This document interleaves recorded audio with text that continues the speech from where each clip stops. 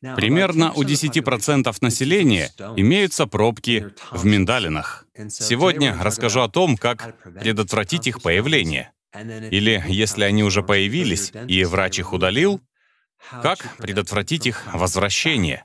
Прежде чем начать, надо понять, что такое миндалины. Миндалины или гланды — это первая линия защиты. Эта ткань похожая на лимфоузел, которая находится в области носоглотки и предназначена для предотвращения проникновения патогенов вглубь организма.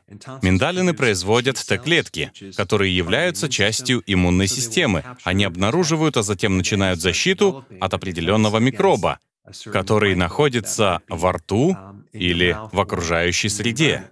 Вот что такое миндалины. А пробки — это, в общем-то, так называемые биопленки. Биопленка — это маленькие кальциевые оболочки, в которых микробы, конкретно в этой ситуации бактерии живут в этих маленьких цементоподобных домиках. Именно так, это своего рода домики, которые защищают микробы от разрушения антибиотиками. То есть биопленка — это щит, панцирь, помогающий микробам выжить.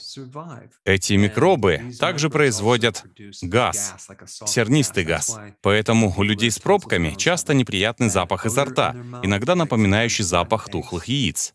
Во рту появляется металлический привкус, кашель. Пробки обычно развиваются после хронического танзелита или длительного приема антибиотиков потому что это уничтожает защиту и увеличивает количество патогенов. Я уже неоднократно муссировал эту тему в своих видео. В организме есть хорошие бактерии, так называемый микробиом.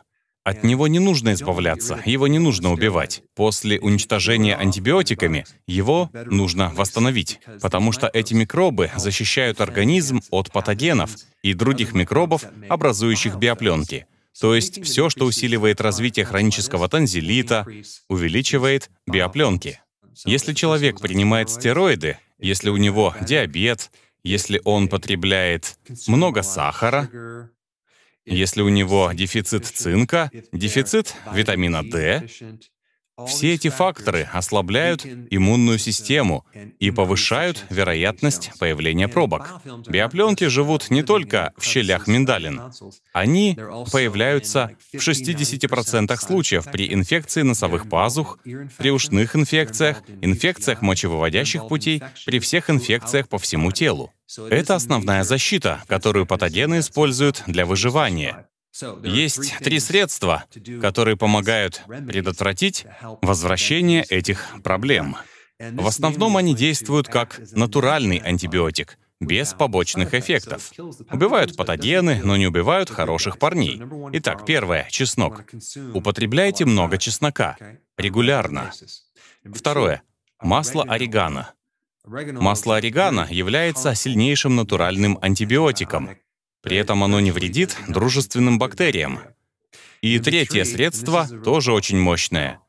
Я оставлю внизу ссылки, которые подтверждают мои слова. Экстракт из косточек грейпфрута. Еще один отличный натуральный антибиотик. Конечно, некоторые факторы могут ухудшать ситуацию. Высокоуглеводная диета и потребление большого количества молочных продуктов могут привести к образованию слизи. Особенно у молодых людей это вызывает хроническое воспаление миндалин, ушные инфекции или инфекции носовых пазух. При инфекции верхних или нижних дыхательных путей нужно отказаться от молочки. Если вам понравилось видео, пожалуйста, подпишитесь на канал, чтобы не пропускать новые видео.